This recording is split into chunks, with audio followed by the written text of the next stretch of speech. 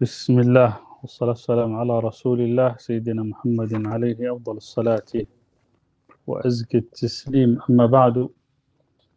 وسحابي بقول يكواد مركا أنا شلي لبا سحابي أن تيرينو اللي محي أهين معاد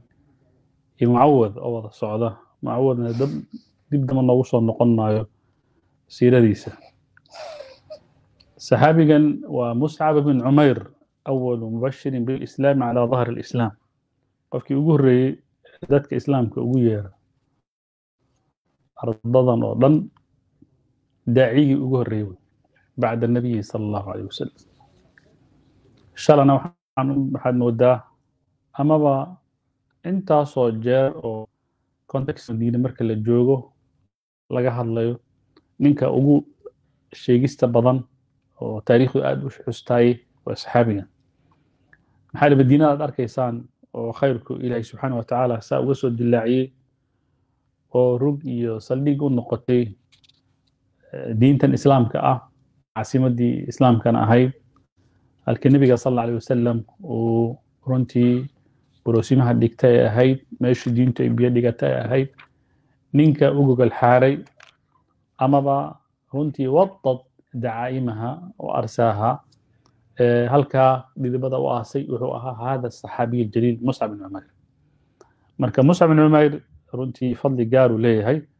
wax badan oo ka midin runtii waxay nagu soo mareen markaanu ka hadlaynay sidii shaloo kale. Labadii dhalinyaro ahaa ilaahi subxaana wa tacaala uu qadaray inuu islaamka nusri uu ku siiyo ghazwat badan alkubraa maalinkii abujahl laga takhalusayey isagaa sabab u ahaa mucaad buu sabab u ahaa kadib reerkii oo dhan baa wada islaamay sidaan soo shalay soo aragno haddaba laqad lama sadaca alrasuulu alacdamu salawaatu allahi wasalaamu caleyh bidacwati alxaqi aqbala calayhi man sharaxa allahu suduurahum liliimaan وصد عنهم من طبع الله على قلوبهم الكفر والعصيان markii nebi maxamed sal alla alay wasalam uu xaqa uu ku dhawaaqay baaqa diineedna uu kor u dhigay in alla intii ilaahay subxaana wa tacaala quluubtooda uu waasiciyey ama islaam uu ilaahay uu la doonana nebigay soo qaabileen inta quluubtooda la owday oo kufri iyo cisyaan ilaahay uu ku daboolana waa ay dideenoo iyagu mayan iman halkaa markuu dadka labadaa qolon bay ahaayeen qole nebiga sal alla alay wasalam markiiba runtii la safatay oo khayrkii wax ka soo raasatay iyo qole iyadu iska tagtay oo ilaahay khayr aanu la doonin وكان في جملة الذين شرح الله صدورهم لدينه القويم وهداهم إلى صراط المستقيم fatan mawhuuru shaabi aw shabaabi mashduudu alihaabi marka dadka ilaahay subxaana wa tacaala uu qalbigooda islaamkan u sharxay oo waddada toosan ilahay uu ku hanuuniye waxaa ka mid ahaa nin dhallinyaro ah oo dhallinyarnimadiisu ay buuxdo mashduud alihaab luqada carabiga kelmadda ihaabku waa oo qofka haragiisa ama duubkiisa amaba maqaarkiisa dabcan qofka qof uu ka da'yarihana runtii maqaarkiisu wuu ishaystaa yani maxaa waxay muujinaysaa futuwadiisa iyo dhalinyarinimadiisa ay muujinaysaa marka mashduudu lihaabi waa wax laga kinayoonayo si dadban loo dhahay oo la leeyahay wuxuu ah nin dhalinyaro ah oo xooggiisu uu dhan yahay maxaa yeelay weli haragiisu isma dayn wey wasiimu طalca nin weji quruxsan buu ahaa oo raqiiqu alxaashiya in dadkuna ay soo raadsadaan dadka qof dadkuna ka didaan qofna ulfu ley way soo raadsadaan nin wuxuu ahaa noocaas oo kale waafiru nicma ilaahay subxaana watacaalana uu nicmo uu siiye mutraf alcaysh nolol isku toosan oo taraf lehna ilaahay uu geliyey maadaama reer ladan uu ka dhashay. Anaa sidaan arki doona biidnillahi subxaana wa tacaala. Yudcaa musa bin cumeyrin ninkan marka saxaabiga ah ee reerka ladan ka soo jeeday oo ilaahay adduunyada saa nambaradeed isugu toosiyey waxaa lagu magacaabi jiray muscab ibn cumayr. Falaqad mada alfataa annadiiru daata yowmin ila daari alarqami min arqam waqad faaxa atiibu min aradaanihi wabadat nicmatu calaa wajhi ilahay wuxuu qadaray maalin maalmaha ka mid a wiilka kan ee saa u dhalaalaya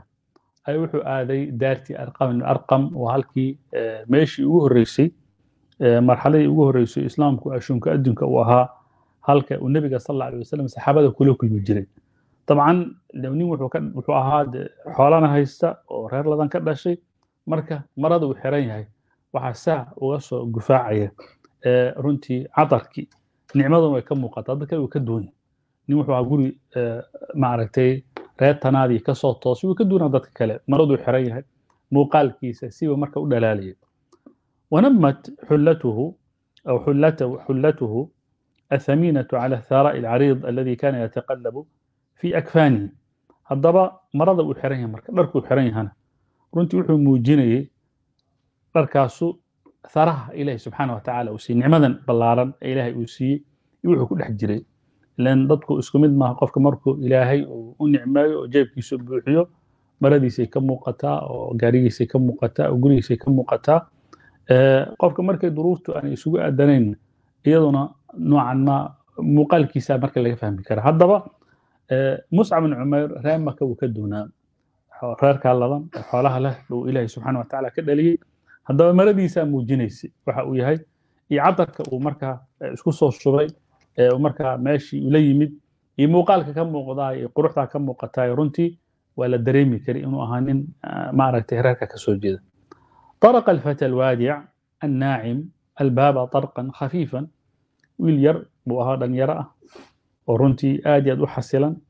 nicmaduna ay ka muuqato si tartiib leh buu albaabkii usoo gargaraacay ahaa daartii alarqam alarqam fafutixa lahu waa loo furay fadakhala ila daari cala istixyaa isagoo si tartiiba xooga xishad uu ku jira buu daartii galay waxaya alqawma biunsin wawadaacatin dadkan uu salaamay si markaa ay ka muuqato soo dhoweyn iyo heshi ثم جلس حيث انتهى به المجلس هلك وكسو غاري من فريسة dadkii kama dul tallaabsan ma dardarin hadal rafa iyo qaylo badanna meeshii lama soo gelin nin yaroo iska dhalinyaraa xishoonaya oo maaragtay xaaladda uu ku sugan yahay ay ka duwantay xaaladaha ciyaalka marka ay derbijiif ku soo galaan ku soo koraan ama qardadac iyo xoog iyo iyo si un ay ku soo koraan way ka duwan yihiin. Yani iyo kuwa markaa ku soo kora guri noocan ma waxa dhan isku aadan yihiin cid wax ka boobay ayaan jirin ma aragtay wuxuu xaday ayaan jirin. Ninkan markuu ahaa sifaatkaas oo dhan baa ka muuqday fatacallaqat bihi absaaru lqowm wahum laa yusadiquuna cuyunahum dadkii meesha fadhiyo dhanba isagay ku mashquuleen iyagoo runtii ay la noqotay wax runtii ayaan ka fakeraynin nin sidan oo kala iyadoo marxalada lagu jira marxalad sahlan maaha. Haddii ay la dhihi lahaa almarxala almadaniy u yimid wax lala yaabo marka maaha.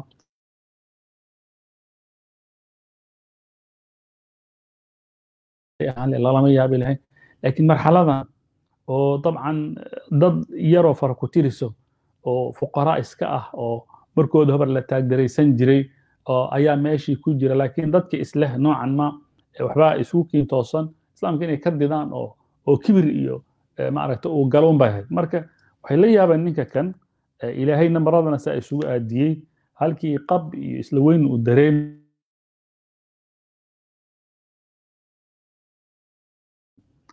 فلكم تمنوا أن يهدي الله هذا الفتى وأمثاله إلى ما هداهم إليه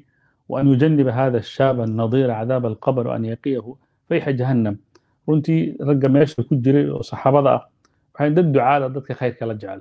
waxaa aada u badnayd inta ay ilaahay ka bariyeen ama ay jeclaayeen in ninkan oo kale dhalinyarada ah iyo kuwa isaga la midka ah in ilaahay hanuunka uu kusoo duwo isla markaan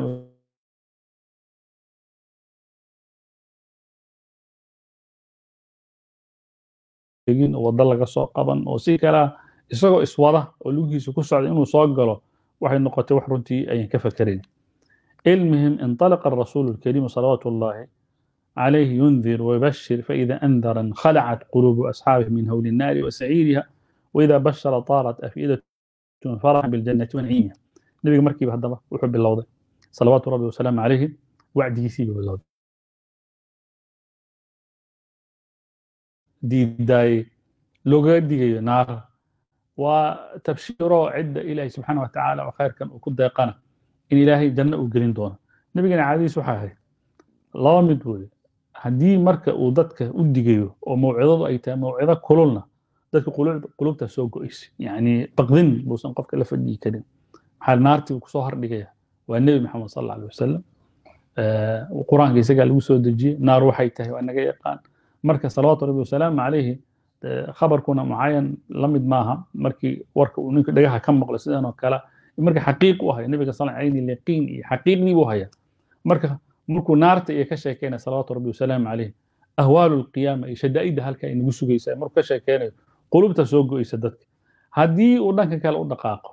oo janno iyo bishaaradeeda u dhaqaaqana dadka qulubtooda aad bay u farxayso inay farax la duulaan bayba halis u ahayeen dadka idan salawaatu rabbi wasalaamu calayhi mar kelmadiisu kelmad waxay ahayd dadka markiiba soo dhufsata وكان النبي الكريم صلى الله عليه وسلم يتلو بين الحين والحين على أصحابه شيئا من آيات الله البينات نبيga marka waxaa caado u ahayd markuu dadka wacdinayay inuu haddana marmarka qaarkood aayadaha qur'aana u aqriyo فتسعد بها قلوبهم وتطمئن لها نفوسهم آيادها آيادها markay maqlaan qulubtooda halkaasi marka markiiba sacaada ku dareemi jirtay iyo xasillooniba ay dareemi jireen wayasaluuna allaha alfawza biniciimi aljannati wannajaata min cadaabi innaar markay maqlaan aayadahaas ilaan aayad waxay isugu jiraan laba nooc aayado janno ka sheekaynayo ilaahay la weydiisto jannada in ilahi subxana watacala nagu arzuqo iyo aayado naar ka sheekaynayo ilahay lagama galo in ilaahay subxana watacala naarta una geeyo wamaa anfara mawcidatihi nebiga markuu dhameeyey wacdigiisii markuu dhameeyey cajaa'ibta lahaa xataa nahada ilayhi alfata alqurashiyu fi anaa wadanaa rifqin wahuwa yaquul wiilkii yaraa dhalinyarada halkaa kasoo hinqada iyadoo si xasilooni u socdo buu nabiga agtiisa intuu soo fariistay markaasuu yidhi ashhadu an laa ilaaha ila allahu wa ashhadu anna muxamadan rasuulullah ثم بسط يده إلى النبي الأعظم صلى الله عليه وسلم وبايعه على السمع والطاعة في المنشط والمكره كدي نقعنت النبي صلى الله عليه وسلم بيعضنا صلى الله عليه وسلم isagoo nabiga sal lla slm kula heshiinaya ismaqal iyo maqal iyo isu hoggaansan. Fi lmanshat xaaladdu miday doonta ha noqotay. Islaamku marna manshat baa lagu jiraa wuxuu isku toosan yahay dhib ma jiro dadku way baraarsan yihiin marna dagaalaa lagu jiraayo oo xoolaha howluhu ma sahlana. Labada xaaladood qofka muminka waxaa la rabaa inuu islaamkan uu markaa garabkiisi taagan yahay. Aanu dhihin markii wax kasta ay isku aadan yihiin khalaas waan idinla jirnaa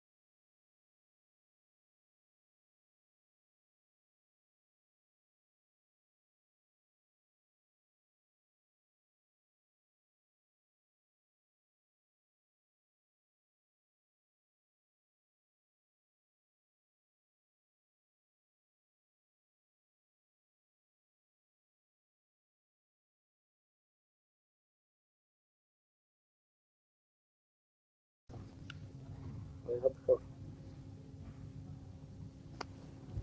تيو قدام بيس؟ شان لا لحد أقل سؤالي انت اصبر بسرعة سرعه لمبه عشان لا لحد أقل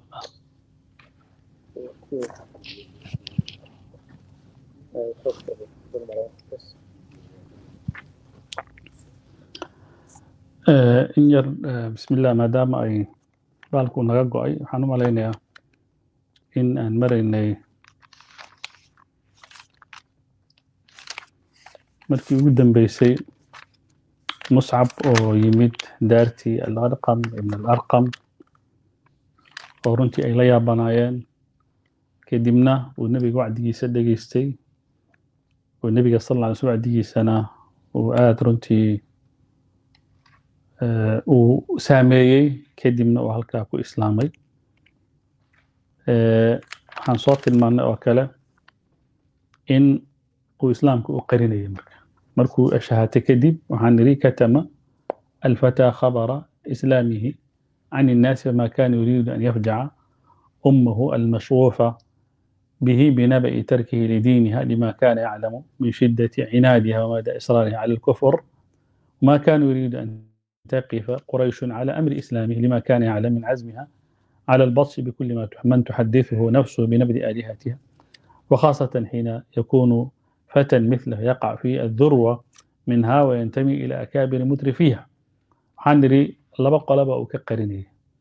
waa midoo muusan rabin inuu hooyadii uu kaga nixiyo maadaama aada u jeclay inuu diinteeda ka tegey laba arrimoodna uu ogaa inay hooyadu aada u madax adag tahay kufrigana aada ugu dhegan tahay waa midda labaad oo qorayshna aada buu isaga ilaalinayay. Maxaa yeelay qoraysh waxaa meel u yil in qof kasta ay xataa nafsadiisa ay ugu sheekaysa maaha inuu islaamo maaha inuu aadyahadan ka tegayo in ay faraha ku dhigi doonto. Uguma sii jirto marka uu nin dhallinyaraa sidan oo kale ahna uu yahay oo ka soo jeeda reer reeraha ugu sarreeya ah ladanna ee dadka ugu waaweynaya mutrifiinta ku jira فقد ظل الفتى يختلف إلى رسول الله صلى الله عليه وسلم سرا فيسعد بلقائه ويتملى من مواعظه حتى رآه عثمان بن طلحة يصلي ذات يوم فأذاع خبره بين الناس waxaan niri nebigu isidhuu maalaysi ugu tegi jiray halkaa kula kulmi jiray wacdigii kasoo dhegeysan jiray ilaa maalinkii dambe waxaa arkay cuthmaan ibn talxa isagoo tukanaya la arkay facadaa khabara bayna annaas hadalka markaa dadkii buu ku dhex shaaciyey oo yidhi wa ninkii hebel ahaa gacantiina kubi jira waa uu islaamay mundu dalika alyowm laga bilaabo maalinkaas bada'at mixnatu muscab bni cumeyr mixnadii imtixaankii baa ku bilowda marka mixnadu marka oo sunan asunana ilaahi ayadii hadda aan soo marna ay ka mid ahayd maxaa dhacay marka falaqad tanakara lahu abawaahu bacda an cajazaa can raddihi ila diini aabaa'ihi waajdaadihi labadii waalid ee dhalay oo wax weyn agtooda baaba isbedelay. Markay arkeen in wiilka wax ka qabasho aanu lahayn oo diinkii aabayowgood iyo awoyaashood ay ka soo gaarin inuusan diyaar u hayn maxay sameeyeen? Faqaطacaa rifdahumaa canhu. Wax alle wixii dhaqaale ay siin jireen. Bay horta ka joojiyeen cunqabateyn baa lagu soo rogay. Xataa gadaa ashadda faqran min alfuqaraa wa xataa gadaa ilaa uu ka noqday ninka ugu faqriga badan ugu shiidsan wa acnafa bu'san min albu'asaa dadka magaalada jooga dadka ugu jaabka maran dadka ugu daran buu noqday. Ileen maaha marka dhaldhalaalkii iyo duhuuntii uu soo marsan jiray iyo cataradii kala duwanaa uu marsan jiray iyo xaragadii halkaasay ku ekaatay. Wa qurayshun tasadad lahu. Dhan waa halkaas cunaqabatayn kaga timid xagga guriga. Wa quraysh tasadad lahu. Qurayshna way hor istaageen.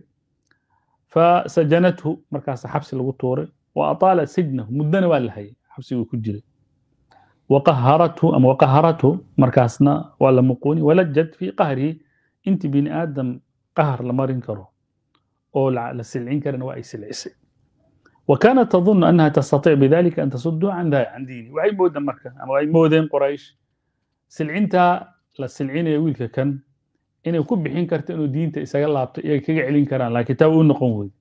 ولكن أن يتم لها ذلك والفتى قد ذاق حلاوة الإيمان haddaba suurtagal say ugu noqonaysaa mar ninka kan uu dhadhamiyey macaankii iimaanka way adagtaha marka macaanka in laga gooyo.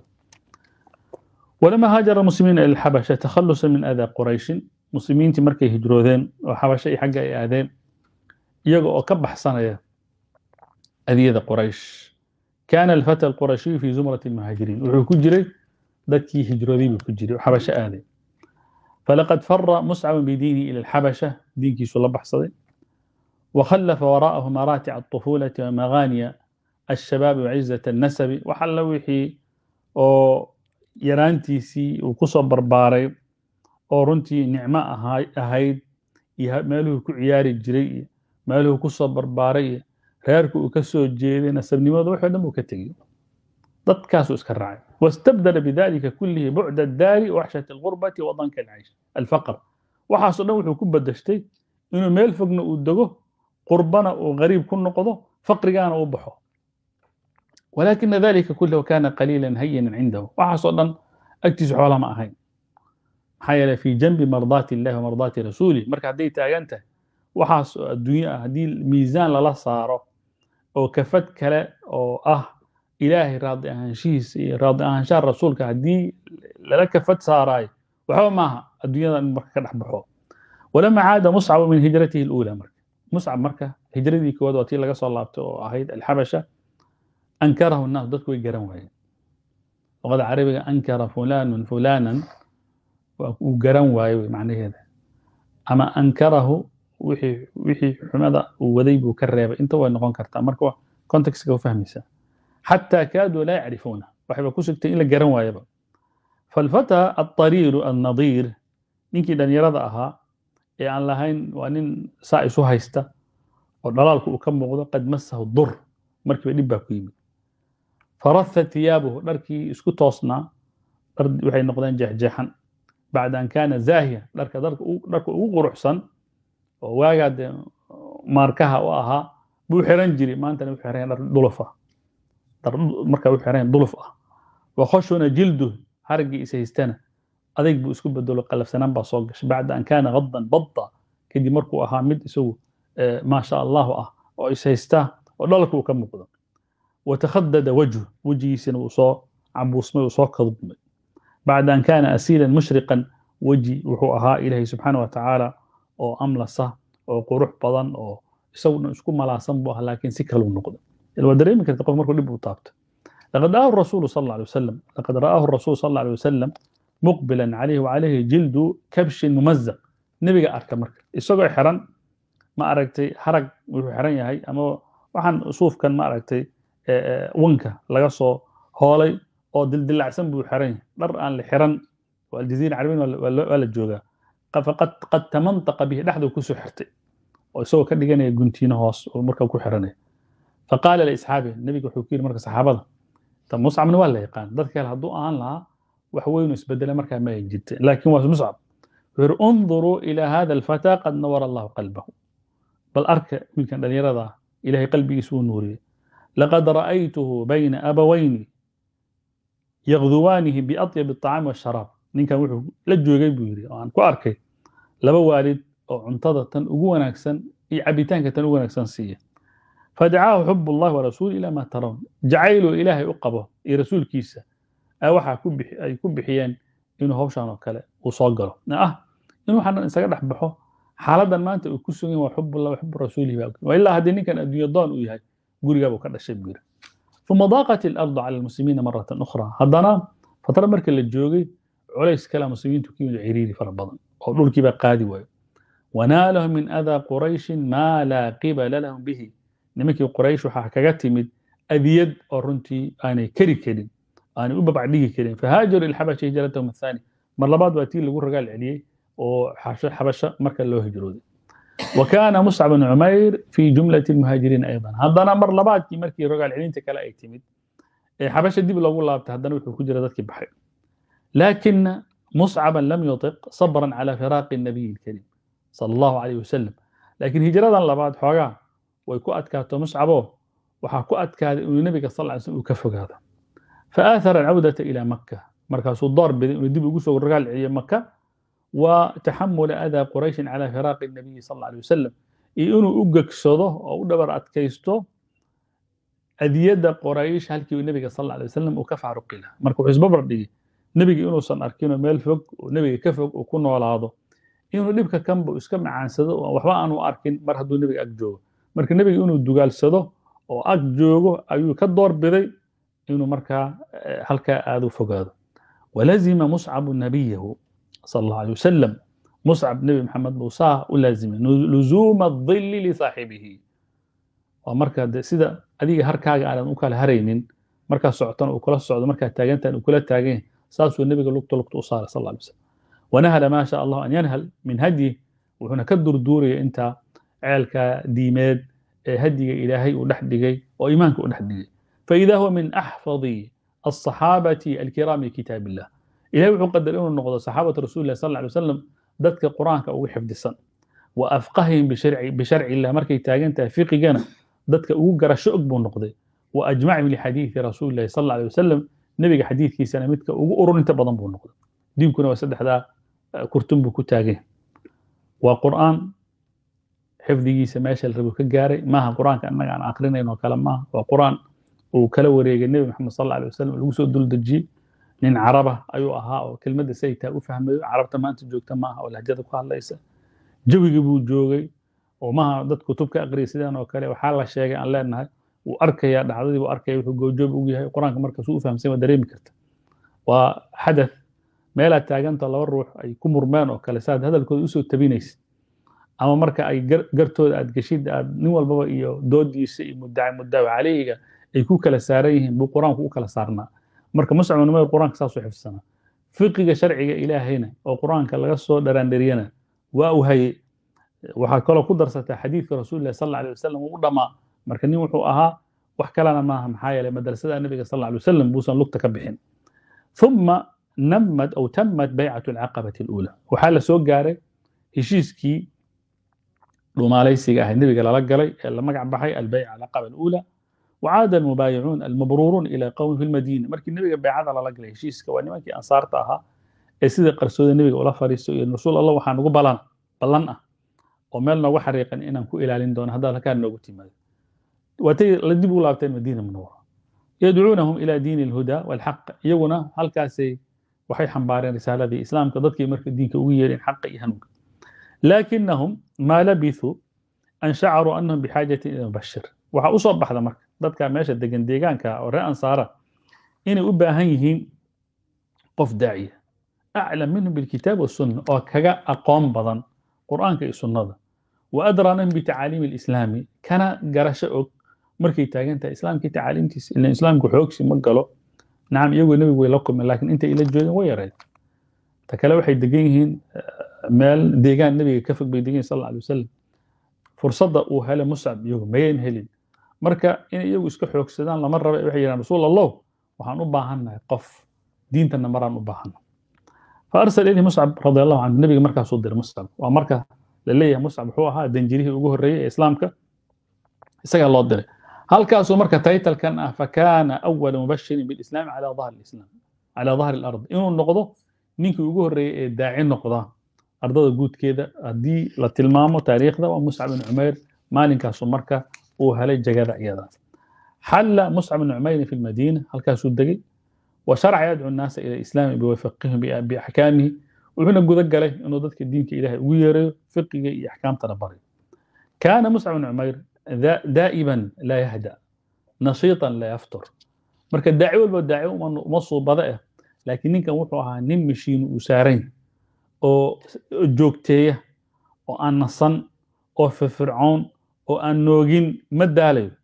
faaslama calaa yadayhi khalqun kaiir dad fara badan baa ilahay sabab uga dhigay inay marka islaamka soo galaan isaga sababtii xataa lam tabqa daarun fi yatrib ila wa fiiha muslim muslim. Ilaa ilaahay u qadaray marka tirakoob la sameeyo daar ka mid ah duurta ku taal almadiina munawara ilaa waxaa laga helaya qof muslima ama muslimad baa joogta oo markaa muscab sabab u ahaa. Waad arki doontaa taana runtii waxaa tajsiidinaya markii nebiga sal ly wasalam uu imanayey madiinoo dhan markay saa u soo wada baxday oo ay duleedka la soo istaagay oo nebiga tarxiibka ogeyd lagu soo dhaweeyey dadkaa ma ahayn barskeersi kuma iman dad iska yimid ma ahayn dad waxay ahayn bitowfiiq illahi jala wacala muscab uu ka soo shaqeeyey. Dad markaa awood iyo juhdi la geliyey bay ahayn ilmihim xataa kutiba lahu bian yajmaca awala jumcati fi lmadiina qabla an yahbida ilayha arasuulu lkariim xataa ilahay wuxuu qadaray intuusan nebiga imanba jumcadii ugu horreeyey madiine lagu tukaday isagaa halkaa joogay. Walama aqbala mawsim alxaj waxaa la soo gaaray waqtigii xajka xiliyadan hadda aan ku jirno oo kale. Shakhasa muscabun ilaa makkata wa macahu sabcuuna rajul min almuslimiin. Toddobaatan nin oo isagu uu ku jiro. Toddobaatan nin oo isagana uu kow iyo toddobaatan uu ku yahay. Ayaa waxay aadeen maka فوافوا الرسول صلوات الله وسلامه في العقبة وبايعوه بيعته المشهورة هل كان النبي كل كل من هشيس كان تاريخي اه ku qoran meel walbaba albayca alcaqaba la tilmaamana halkaasuu ka dhacay maalinkaas walama baayacuu wacaada almubaayicuuna alabraar ilaa diyaarihim markii dabcan beecadii ay dhammaatay deegaankoodii dib ugu soo laabteen وبقي مصعب مع النبي صلى الله عليه وسلم إلى أن أذن الله للمسلمين بالهجرة إلى المدينة muscabna nebigu iskala haray oo la joogay ilaa markii hijrada dambe ay ka iman doonto. Marka baycadii koowaadna waa tii intay ansaar ay ku soo islaameen u yidhahdeen waxaan u baahanaa daaci. Baycadan labaad markii uu howshiisii uu gutay oo toddobaatanka ninna uu horjoogo u noqday oo nebiga u soo hogaamiyey oo halkaa baycada ay galeen isagii nebigu ku haray. Haddana markuu joogay ilaa laga gaaro hijradii kale ee tii almadiina munawara فكان هو عبد الله ابن عبد الله ابن أم مكتوم أول المهاجرين إسجى عبد الله بن مكتوم oo ninkii indhoolka ahaa oo suurata cabas iyo shanigiisa looga hadlayay baa ugu horreeyay madiina soo aaday marka walama cazama الرسول صلى الله عليه وسلم على غزو قريش في بدر nebigu markuu go'aansaday inuu duulaan uu ku qaado nimankii quraysh dagaalkii badar كتب كتائبه وجند جنوده فجعل على كتيبة المهاجرين علي بن أبي nabiga wuxuu sameeyey sal alay wasalam ciidankiisu heeganka geliyey horimo iyo iyo iyo guutooyin. Waa u qeybiyey marka guutada eh, muhaajiriinta ah oo magaca muhaajiriin ku socoto ay ku dagaalgelaysaye waxaa abaanduulo loogaga dhigay. Cali bn abi aalib wa katiibati ansaar. Guutada ansaarna waxaa abaanduulo loogaga dhigay. Sacad bni mucaad ayaa horjooga ah wa calaa mamanati ciidanka qeybta midigna waxaa haysta. Azubayr ibn alcawaam oo nin waxaa la rabaa aan sahlanayn calaa maysarati bidixna waxaa ka taagan almiqdaadi alkindi nabiga sal ciidanka saasuu marka heganka u geliye kuna u howlgeliye ama raayat rasul sal albayda bandiirada cad ama calanka cad ee astaynaya ciidanka kan iyo waxay u socdaan iyo waxay u dagaalamayaan waxay ka dhiidiyayaan waxay u helinayaan waxay ka helinayaan maxaa yeele calanku waa waa waa astaanta lagu garanayo dadka meesha jooga maaha calaladan innaga aan wadadana maaha waa tan tan waxaan ka hadlaynaa waa tii jihaadka facaqadaha lii muscab bn cumayr nabiga sal ly wasalam wuxuu u dhiibay muscab wasalamaha lahu biyadayhi asharifatayn labadiisa gacmoodoo sharafta leh buu nabiga ugu dhiibay fatalaqaaha muscabun xafiyan biha muscabna nebigu ka guddoomay isagoo aad ugu faraxsan maxaa yeele inuu nebigana kuu dhiibo in waxa lagu dhiibana dhiibanaya taa wixii janna aad ku tegi lahayd wuxuuna inay yihiin wax ummaddan iyo islaamka kan ramsi u noqonayo oo kun iyo afar boqol iyo afartan sano maanta maanta aan ka sheekeyna inagoo meelahan joogna waad dareemi kartaa farxadda iyada. Maaha meel yaroo agaasimo qof looga dhiga maaha oo gunno uu ku sugaya maaha kursi yaroo reer uu matalaya maaha meel yaroo la yiri safaaraddaad fadhinaysaa maaha waa hawl culus wey hawshan. Marka inuu xafiyan biha noqdaay wax lala yaaba maaha wasaara biha fi muqadamati jeyshi marfuuca ra'si naasic aljabiin. Markaasuu bahashii isagoo sida oo ciidanka horjooga u noqday isagoo madaxiisa kor uu jiro oo runtii dulli aanan dareemayn runtii farxadna ay ka muuqato. Wanaafaxa canha munaafaxat alabtaali mayaamiin sida ay tahana bahasha ugu dagaalamo u difaacayo yani dadka ilaahay uu barakeeyey abtaasha ah xaqeeduu mariyey. Yani maaha iskama siidan bahasha un keliya bandiirada xaq bayle xaqeeduu mariyey. Wafima kana muscabun caa'ida min badr. Markii dagaalkii badar uu dhammaado laga soo rogaal celinayo رأى أخاه أبا عزير أسيرا في يد أحد الأنصار في يد أحد في أحد في يد أحد الأنصار ده طبعا دقال كور ماضي طبعا دقالك waxaa jira qolyo w o p baa jira oo dadkii lasoo taxaabay oo dagaalka laga soo qabsaday baa jira nin walaalkii isaga la dhashay cuseyr la dhihi jiray buu wuxuu arkay oo lasoo taxaabto lasoo qafaasho gacanta ugu jira nin ansaarta ka mid a wahuwa yahimu an yadaca alqayda fi yadayh marka wuxuuna rabaa marka inuu si fiican marka uu ninka u xirxiro oo walaalkii meesha lagu haystaa. Dabcan walaalka oo meel lagu haysta calaqal waxay ahayd inuu yidhaahdo bal magacayga ha lagu daayo iyo ana hadda soo islaaminayay walaalkay bal xoogaha laga daayay dhiig inuu ku qaaday ahayd. Ama inuu isagu qaaday faqaala muscab lilansaariyi muscab meeshii laga filayay hadal noocan maa muujinaya xamiyadaas oo walaalkii inuu u buu wuxuu ku yidhi ninka ansaariga ah walaalkii xirxirayay buu wuxuu ku yidhi shudda yadayhi calayh shuda yadayka caleyh ninkan si fiican u qabso si fiican u dhoojiso faina ummahu daatu harwa hooyadii xoolaa leedahay buu yidhi wahiya wahiya xariyatun bian taftadihi bimaalin kaiir lacag badan way ku furan doontaa buu yidhi marka sii hays mar wuxuu rabaa inuu yidhahdo ninkan waa nin qaaliya uusan kaa baxsan hooyadiin hooyaduu ka hadlay waa hooyadii xoolo badan bay haysataa buu yidhi way dhaqanta marka markii la furanayo raamsamka lacag badan baad ninkan ka heli doontaa si fiican u haysa buu yidhi qaala abu cusayr liakhiihi muscab abu cusayr baa yaabay walaalkii walaal wuxuu yidhi ahaadihi wasaatuka biakhiik oo walaalkaa arrinkiisa ma saasaad dadka kale ugala dardaarmaysaa oo meeshii aabihii hala wanaajiye anuu ila dhashay ma inaad dadka igu sii dirtid miya faqaala muscab bal inahu huwa akhii min duunik ninkan aan la hadlaya buu yidhi ayaa walaalkay dhaba inahu muslim kanaan la hadlaya muslim wa anta mushrik marka walaaltinimada naga dhexaysaa maxay tahay mar haddaad adiguna mushrik isna muslim isaga naga dhexaysa وفي يوم أحد مالك أحد دفع الرسول الكريم برايته إلى مصعب بن عمير كما فعل يوم بدر حدنا الدقال كي لباد بلن إسلا سيدي بالنبي صلى الله عليه وسلم علن كي حقود دي مصعب طبعا علم قف لو علن كي قف لو دي مركز نقشيد معركة الجهاد مركز لو جرو وانن إخلاص لأن هادو نيك رسول الصعود عيدا كي يسود ديبا كور وهي رمزي بتاعي عيدا كفشل كيس مركز لن ولو ديبا kama faxamalaha muscan wamasha biha bayna yaday rasul sl isagoo siduu nebiga hor socday marka washtadad wadatu qurayshin cala lmuslimiin sidaad ogtihiin taariikhda muslimiintii runtii maalinkaas xoogaa waxaa ku timid xaalad aanan sahlanayn nimankii mushrikiinta ahaa ayaa runtii si ba'an madaxa u geliyay dadka muslimiinta ahaa xata inkashafuu watafaraquu can liwa'ihim kadib muslimiintu waatay kala yaaceen waa la kala baahan dabcan dhowr jeer baan ka sheekeenay iyo dardaarinkii nebiga iyo wixii ka dambeeyey nin walbaabuu ka dhacay. Lakina muscaban ahbata qadamahi ila janbi nabiyi sal ly sl laa yamiilu calih walaa yaciid. Laakin muscab bn cumayr dadka firdhaday oo wax ka degay kuma jirin nebigu agtaagnaa halkaasu labadiisa gomadood ay ku sugnay dhanna uma liicin maalna uma jallacsan ma dhaqaaqin. Thaabit buu ahaa ka aljabali shaami khilwateed wahuna aqbala calayhi ibnu qaima markay meesha maraysa ibnu qami adeh ibn qamiica ninay dhahaan oo magacaa leh axadu fursaani mushrikiin ah dadka dagaalyahanada ah ee mushrikiintana ka mida ayaa markiiba ku yimid fadaraba bisayfi darba markiiba muscab waxaa lala dhacay hal darba la laqsiiyey fasaqatat yaduh gacantiisa saa dhulka ku dhacday wasaqata macaha liwa calankii uu sidayna dhulka ku dhacay faakhada bilyadi lukhra gacantii kale ee u soo hartay buu haddana ku dafay وعاد الفارس الشقي إلى المجاهد التقي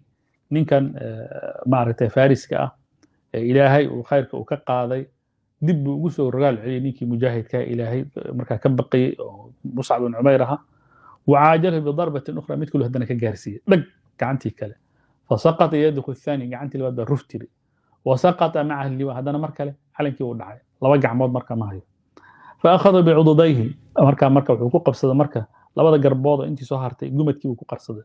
Wadamaha calayhi markaasu wadamahuma calayhi markaasu labadiisa gumad buu aad ugu bahashi aad iyo aad marka isaga laadlaadiyo micnaha u qabsaday liyabqa liyo marfuucan. Intaana wuxuu diidaya calanka inuu dhulka ku dhaco. Maxaa calanka markuu dhulka saa ugu rogmaayo waxay astaynaysaa in ciidankii markaa laga adkaaday. Calanku dhulka ilaalinaya marka laba gacmoodna ma sito dhiiguna saasuu uqulqulaya وكر ابن قميئة مرة ثالثة على مصعب مرة سدحات هذا نكسر رال عليه كيش شيطان كها فأنفذ الرمح في صدره مركاسو ورن وحو كده حدثيه لابتيسي فسقط على الأرض هل كاس مصعب لكو كل عمر فتلقى اللواء أخوه أبو الروم ورفعه ني ولالكي أبو الروم لديه جري وإسنا قرب كيسي تاقنا على كي ضفيري وما زال يحمله حتى بلغ به المدينة على كي إساق على الأرض إلى مدينة منورة وعلى كي دولك بلغ إلى wakharajat qurayshun i meydaan alqitaali muntasira waatii nimankii quraysha maalinkaa ay guul ay la laabteen muslimiinta ay ka adkaadeen wathaaba almuslimuuna ilaa shuhadaa'ihim yuwaaruunahum atturaab muslimiintan waxay bilaabeen inay markiiba u dhaqaaqaan inay ay markiiba ururiyaan dadkii shuhadadaasi meesha loogu xabaalo faidaa muscab dadkii marka saa markii la raadiyey muscab baa la arko qad khara calaa wajhi min gayri yadin isagoo foolfool u dhacay laba gacmoona aan meesha ku hayn halkaasuu ku shahiiday raxmatullahi caleyh wahama almuslimiin bidafni shahiid. Marka waxaa la yidhi hal aasa markaa la xabaalo. Muscab xabaashiisiyaa la gaaray. Famaa wajaduu lahu kafaran ilaa thawban sagiira ninkii aad ogeyd oo noloshaa ogeyd ku noolaa oo dharka kan ugu qaalisan xiraan jiray oo catarka kan ugu udgoon marsan jiray waxaa loo waayey maro kafan looga dhigay. Keliya waxaa la yidhaha maro yaro in satara wajhu kashafa can qadamayh wain haa qadamayhi kashafa can wajhi haddii wejiga laga saarana labada lugood ay muuqanayaan haddii labada lugood laga saarana hore ay muuqanayso kafan waaba la waayaba wax lagu kafanayo waa ninka noloshaa ku noolaa faamar rasul sal alay wasalam an yuqataa wajhu bithawb nebiga marka wuxuu yidhi marada yar inta yar hata wejigii ka saara wa an tustara rijlaahu biradab ilkala-i wixii soo labada lugood iyo wixii kalena maaragtay cooska meesha yaal ee qoyan يال إيه قين مركا دوسة كسارة ثم وقف فوقه وتلا قوله عز وجل كذب انتم دول استاجبوا النبي يقول كل الأقرياء آيات آيات في سورة الأحزاب من المؤمنين رجال صدقوا ما عاهدوا الله عليه فمنهم من قضى نحبه ومنهم من ينتظر وما بدلوا تبديلا مؤمنين waxaa kamid ah rag runtii ka run sheegay ballantii ilaahay la galeen waxay isugu jiraan laba qolo qole iyagu mar hore tegey oo shahiiday iyo kuwo kaloo faylka ku jiro sugaya oo iyagu markaa shahaada dhowrayaala. Wama badaluu tabdiilan ballantii ilaah ay la galeen oo ah ashhadu an laa ilaha ashhadu anna maxamedan rasuulullah. Iyo muqtadayaadkeydii waxay xambaarsaneedoo macaani ahna. Waxba kama ayan bedeloona say tahay ayay u maalmariyeen. Muscab ninkaasuu ahaa raxmatullahi caleyh radia allahu canhu wa ardaahu ilahuna billahi towfiiq